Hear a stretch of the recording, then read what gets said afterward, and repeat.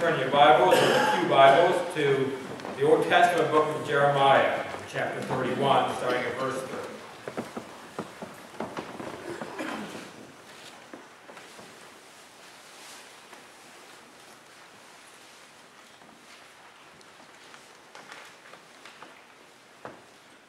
Behold, the days are coming, says the Lord, when I will make a new covenant with the house of Israel house of Judah, not according to the covenant that I made with their fathers in the day that I took them by the hand to lead them out of the land of Egypt, my covenant which they broke, though I was their husband to them, says the Lord.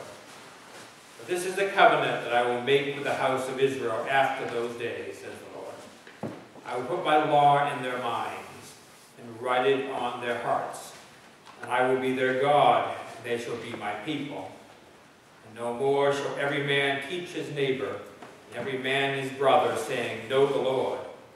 For they shall all know me, from the least of them to the greatest of them, says the Lord. For I will forgive their iniquity, and their sin I will remember no more.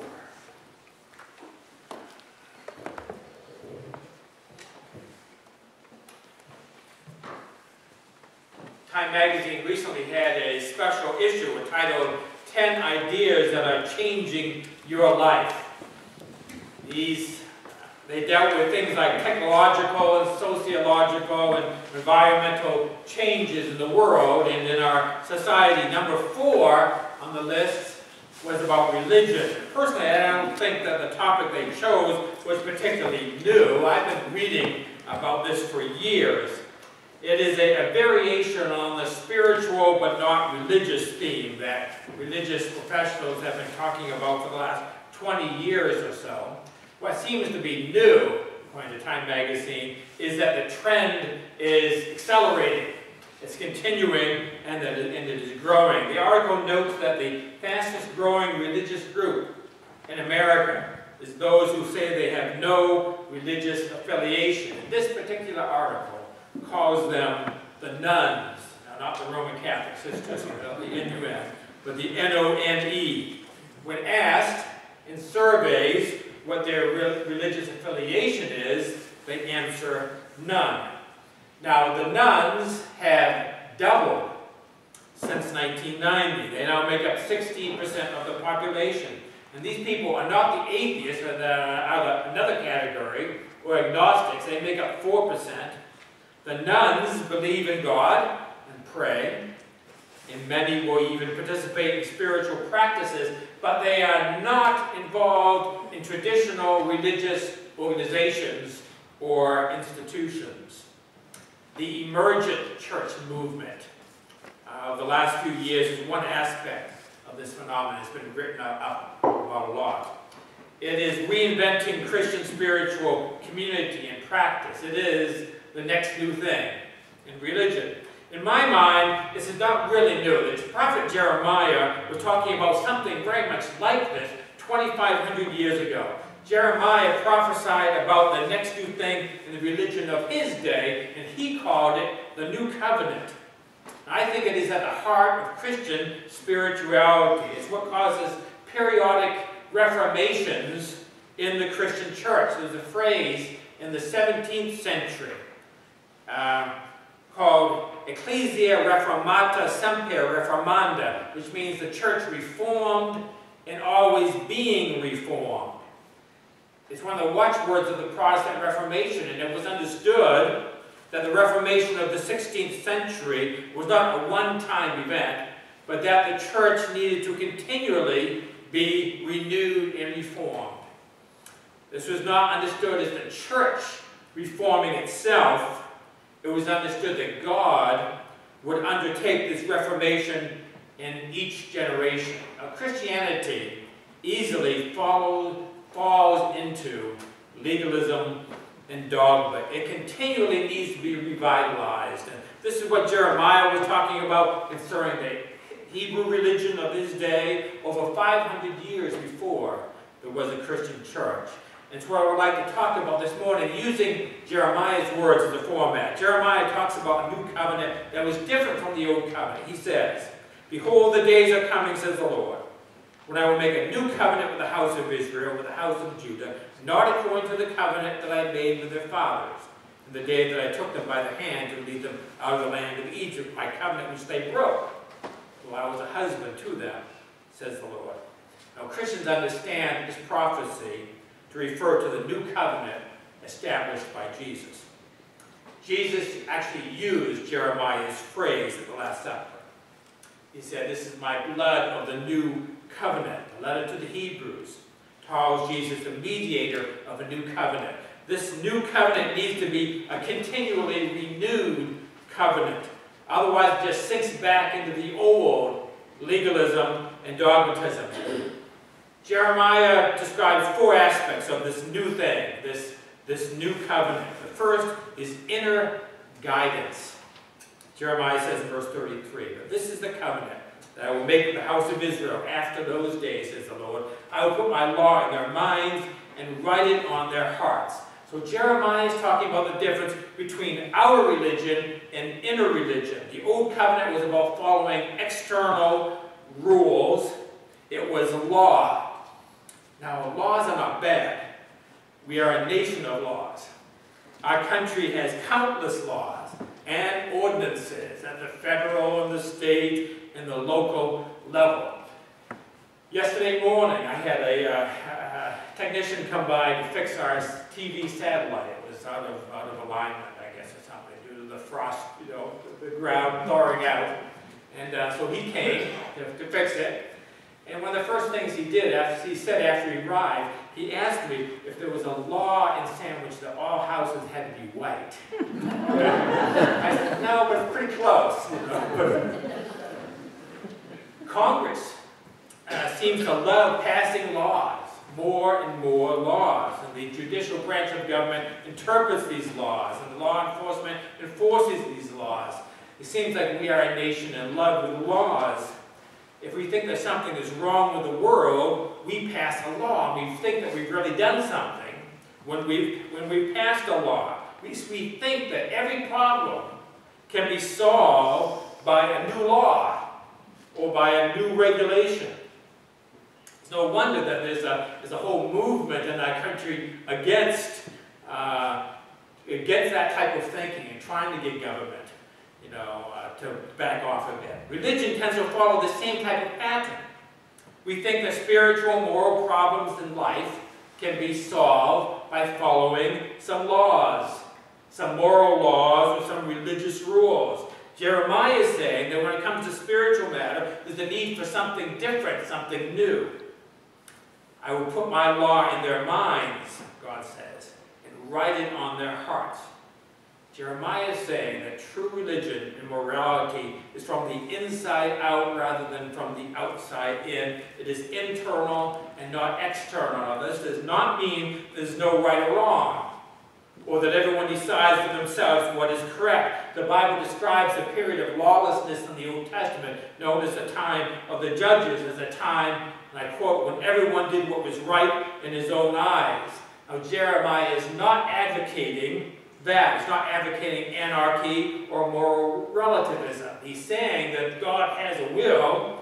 He's saying that he guides us from the inside of the human being, and his will is not imposed from the outside. When it comes to practical application of this in our lives, it means that we do not surrender our moral responsibility to external religious authorities that we are not children who need to be told what to do by religious institutions. That we don't follow a religious rule book, we follow God's law, written on our hearts and minds. It means that we trust God living within us as Holy Spirit more than religious authorities that tell us what God wants of us. The second point that Jeremiah makes is in the rest of verse 33. He says, I will be their God, they shall be my people. My first point was about inner guidance. The second point is about intimate relationship. True religion is about a real relationship with God. Now, evangelicalism talks a good game when it comes to this point.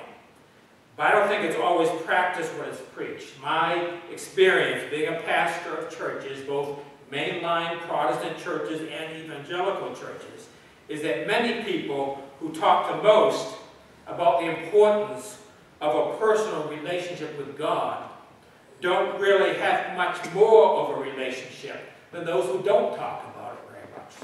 Those are the more traditional uh, Protestants, if you will.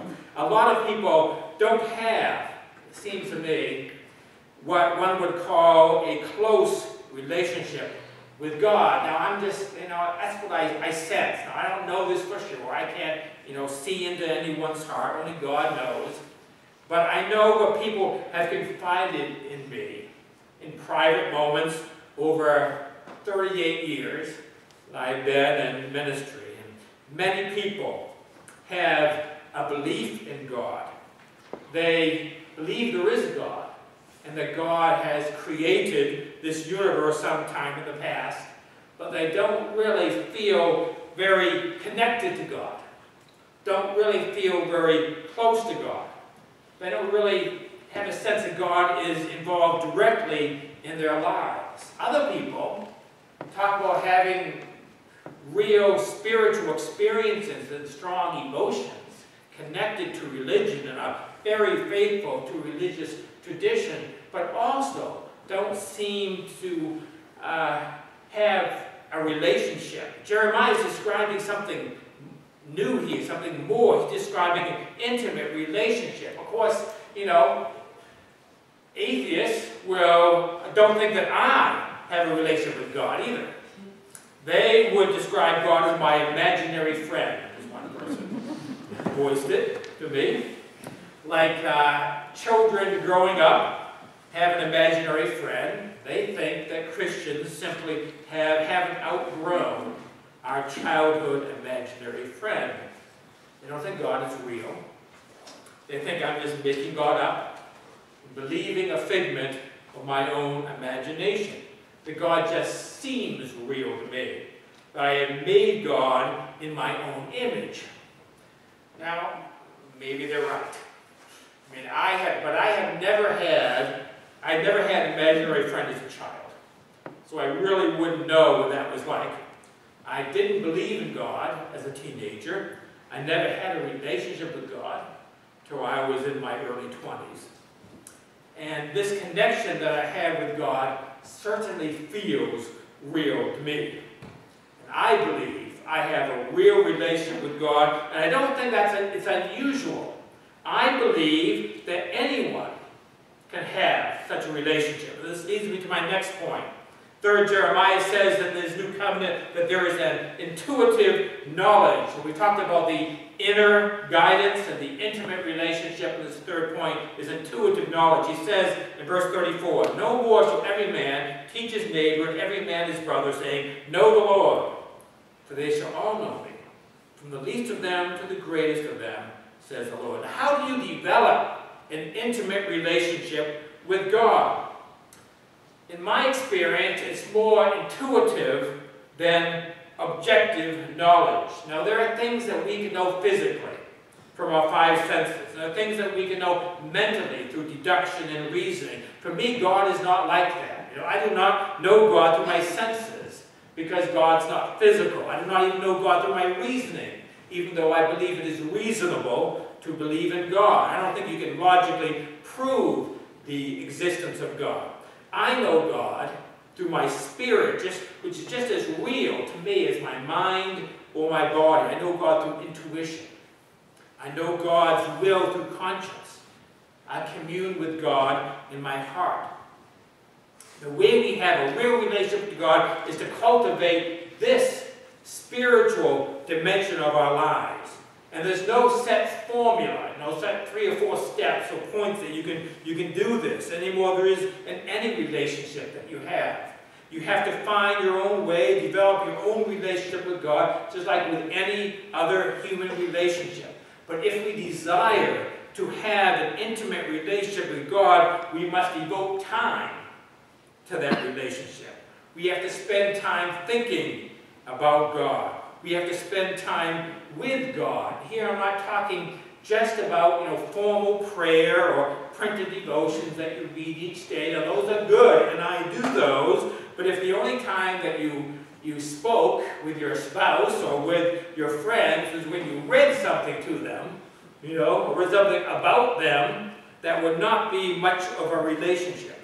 You know, I'm talking about cultivating a continual awareness of God. I'm talking about living in the presence of God, living in God as we live in this world, breathing God like we breathe the air, swimming in God like a fish swims in the ocean. If you asked a fish what water was, they could not tell you because they live in the water in the same way we live in God.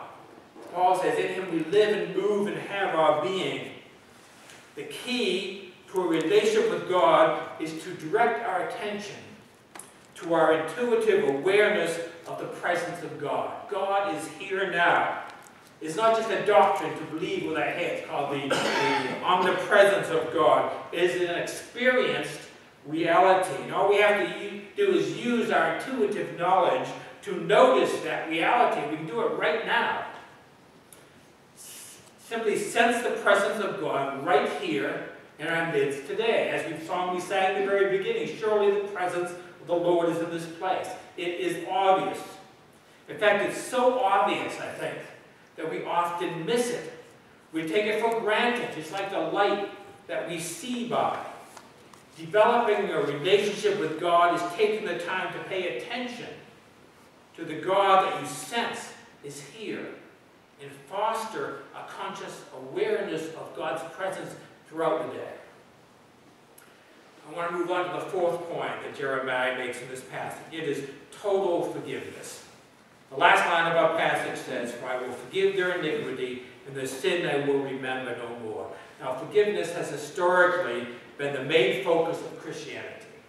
Now, there is a lot more to Christianity than forgiveness of sins, but forgiveness is at the heart. And that's what uh, many people don't like about Christianity, that there is too much talk about sin and forgiveness. But this is an important dimension of our human condition that needs to be addressed, and that's exactly what the gospel does. It takes the reality of sin seriously and deals with it directly. It doesn't explain sin away psychologically or sociologically. It doesn't downplay it or minimalize it. It acknowledges that guilt is real in our lives, in our minds and hearts. It needs to be addressed. And the Christian gospel frees us from this power of sin and the power of guilt. A lot of people, you know, they don't really know Christianity very much, think Christianity is all about making you feel guilty. But it's really just the opposite. It gets us to acknowledge the reality of guilt and eliminates it so it does not control us. It is a powerful spiritual, emotional freedom we can be free from the bondage of things that we have done wrong and the things that people have done wrong to us. That we can experience complete forgiveness and have the power in the Holy Spirit to completely forgive people who have wronged us. This is the power of the gospel. Now, if you don't sin and you've never been sinned against, then you don't need this gospel. But if you have ever wronged a person, or if a person has ever wronged you, then you need the gospel. Now, we can go through all the counseling and the psychotherapy that we want to, and I'm a believer in counseling. It does a lot of good in helping people deal with, uh, with psychological harm and problems in their lives, but we also need a spiritual solution to the spiritual problem of sin and guilt. That's what the gospel does. And it does it through the cross of Jesus. Now, I can't explain this very well, how the cross does this. The theology of the cross, as soon as I get into that and try to start explaining it, it becomes very complicated, theoretical, and philosophical very quickly. And I don't think what we need is a new theology or a new philosophy. What we need is the inner assurance that our sins are completely dealt with and forgotten by God. As it says, For I will forgive their iniquity and their sins, I will remember no more. We need the power to be able to forgive people for the things that they did that we can't seem to forget. That is what the cross provides. Somehow, by the power of God, Jesus dealt decisively with sin by dying on the cross and by rising from the grave. That's what the gospel says. And this forgiveness can be appropriated into our lives and experienced through faith in Christ. That is the bottom line. We can spend a lifetime trying to understand this, but it only takes a moment to accept it and to, under, and experience. This is the new covenant that Jeremiah prophesied. That is a new covenant established by Jesus Christ. Let's bow our heads. Lord God, we confess that we deal with, with wrong in the world. Wrong happens all the time. We hear about it, we see it, we experience it, we have done it. And we want to not just kind of brush underneath the rug, or just forget it, hope that time will heal our wounds, and will just kind of go away. Lord, we know that it needs to be dealt with, and we are so grateful that you have dealt with it. That you have given us complete forgiveness of sins of everything that we have done. And it almost as important as that, as important as that, you have allowed, given us the power of the Holy Spirit to be able to forgive, to be the vehicle of your grace and love to forgive those who have wronged us and wrong wronged those that we love. What a precious gift you have given to us. We thank you for this. In Christ's name.